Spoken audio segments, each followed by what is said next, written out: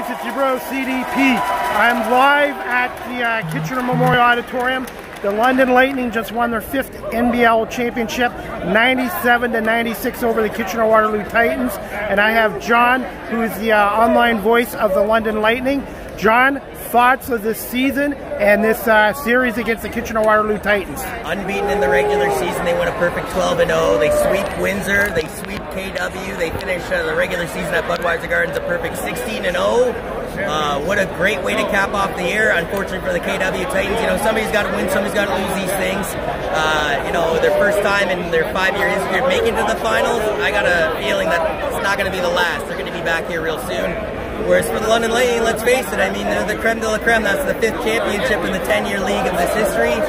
Uh, and there wasn't even 10 championships handed out, as you know, because of the COVID-stricken season. So uh, domination yet again by London. Uh, I think it's win or go home at this point for those guys.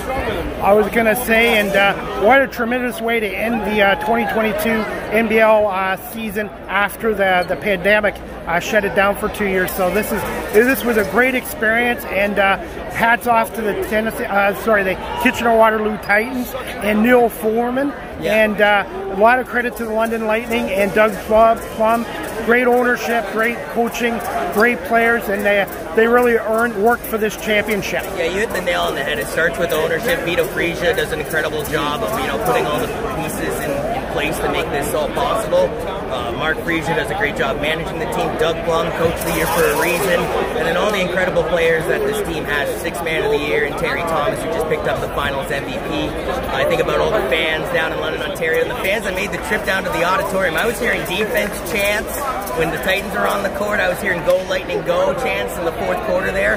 Uh, you know, Lightning only win this game by a possession, and I think it really came down to the not the sixth man and Terry Thomas are on the court, but the sixth man in the crowd and the fans that came down. What, do you think this team will be intact for next year?